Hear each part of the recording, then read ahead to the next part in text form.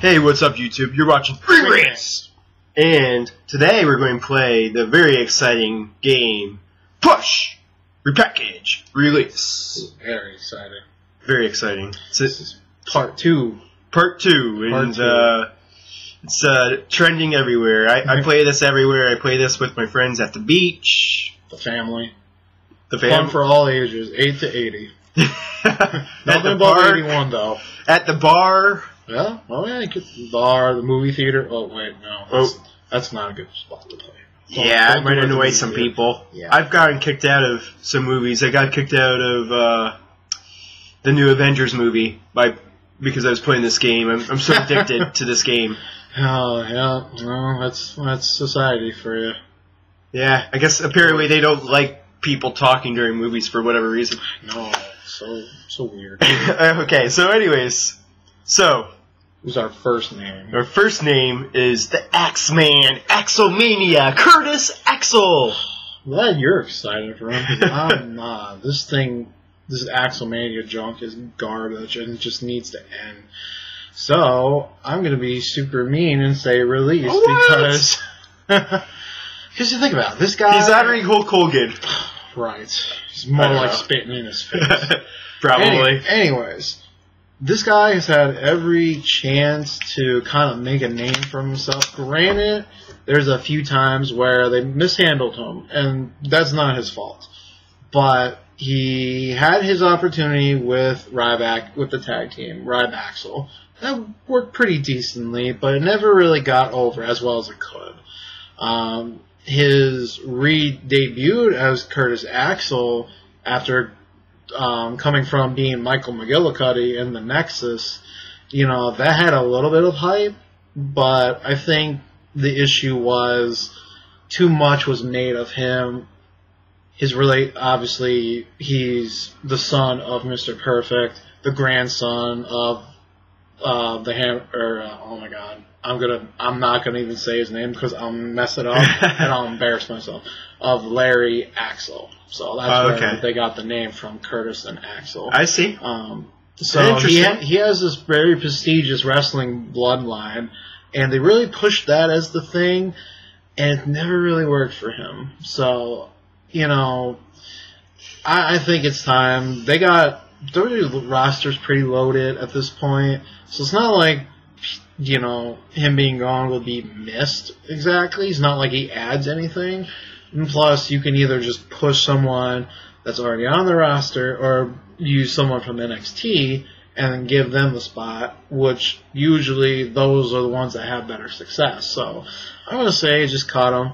You know, he'll do fine in the indies for sure. You know, he's he's a very recognizable name. They can play off his father's name and he can make just Yeah. as much money, if not maybe even more, doing indie wrestling. I mean, he's not great on the mic, but that segment with him and Sandow was pretty funny. Yeah, no, that was funny. He can definitely this this gimmick character, whatever it is, you know, it can be humorous with Yeah. the right person, but overall, it's to me, it's kind of lame and stupid. So I don't. You can't take it serious. It hasn't gotten anywhere other than just being squashed in matches over and over and over. So yeah, right. I'm gonna say just let the guy go. Let him, let him be a success. Let it go, let it go. Oh, I never saw the movie. Oh, That's you're only missing- the lights I know. Hey, you're missing out. Such a great. okay, so who's the next wrestler? All right, the next one is Xavier Woods. All right. Well, this is kind of interesting in a way because the new day just won the tag team belts, and most people uh, Kill me. don't really care for them. And it sucks too because they're all very talented. It's just that they need a different gimmick. So I say repackage. Repackage. And yeah, okay, they have the belts, but still repackage because this is easy just based on the fans' reaction. They're not getting over it all, and yeah, okay, getting heat as opposed to getting a silent reaction is gr- good, of course, because Right. the worst kind of reaction is the crowd just sits there and doesn't react. Doesn't do. But at the same time, I mean,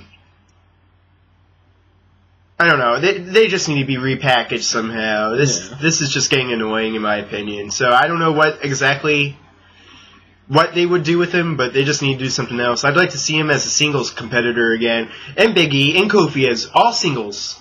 I know we're not talking about them, but Yeah. I say repackage. Okay. All right. No, that's fair. That's fair. So our next one. All right, next one, R-Truth. Are all the truth. See, I, I love R-Truth, and i his career though has been so up and down.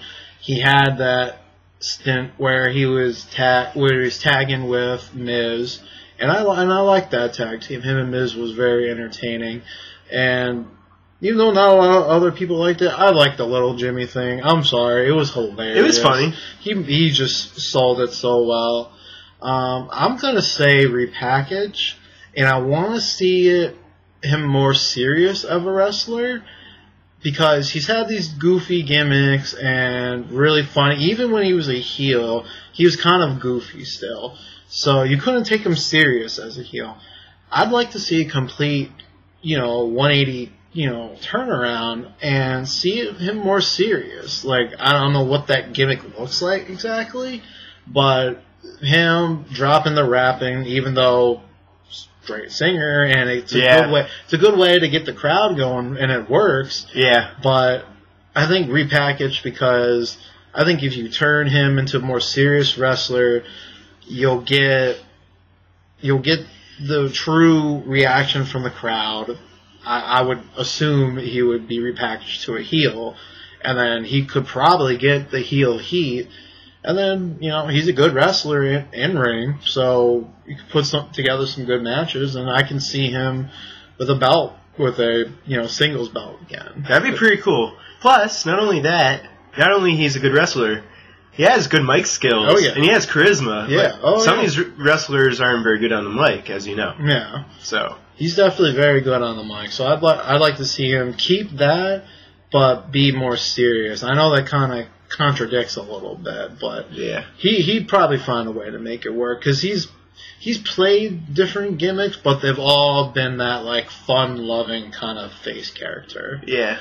So for our last name, keeping it with the tradition of ending it on a diva, I'm gonna say Emma. What do you think of Emma? I like her. I think she's really talented, but I mean, when was the last time she actually wrestled? It's very rare we see her, and if if we do, it's more of she's mixed in with like a big tag match, or like she's on a battle royal or something. And she's not even like, at least with Summer Rae or Rosa, I think her name is. Like, they're with people. They like Summer Rae's with the Miz. Well, temporarily. I mean, it's not a long term thing, but Yeah. like they give them even if they're not wrestling, they the WWE gives them something to be Yeah. part of the show. right. Emma has nothing right now. Yeah. Right now, she's been showing up in NXT a lot, so So I say, I don't know, repackage, maybe, or a release. I, I'm, I'll pick one. I say repackage, Repackage, because alright. I you never really seen her like she never really got the opportunity to shine. In my opinion, yeah, okay, you saw her in some matches here and there, but I mean, She did have a segment of time where she was the NXT diva that came up, was called up, and she had her thing with Santino, which was funny, but that was her chance, you know, and she could have done more to like wow the crowd into liking her. And yeah, the the the the, the, and the dance, you know, it was kind of fun, but you know, those things don't really last. So No, I no. you gotta wonder what's next in line for her. I, I from what I'm seeing in NXT, she's I think coming more of a heel. I think because the last little video I saw of her was she was coming out and interfering with one of Bayley's matches, and Bayley's a big interesting. big time face in NXT. So, um, you know, I, I guess I would say repackage too, just because I'd want to see if she could take a different character and run with it. But if not, then just release her because you still have other people that are established uh, uh, other divas that are established, and then you also have just the best of the best in NXT. You can That's call true. Charlotte, Sasha, Bayley, any of them, and they would automatically just rejuvenate that divas division. So Yeah, I was kind of on the fence between repackage and release, but I'm going to say give her another shot and then see what happens from there, yeah, if that's fair. yeah, no, that, That's just my opinion. yeah. That's all these are Yep. sharing opinions. So yeah, we. Oh, go ahead. I was gonna say maybe we get yelled at because we're saying you know release or repackage someone's favorite wrestler, but hey, you know It's just our opinions. Yeah. That's all. Conversation started. So, ah, coughing a lot. Uh oh. So thanks for watching, and uh, like our Facebook page, follow us on Twitter at RingRants, and subscribe. We, we, we really appreciate it.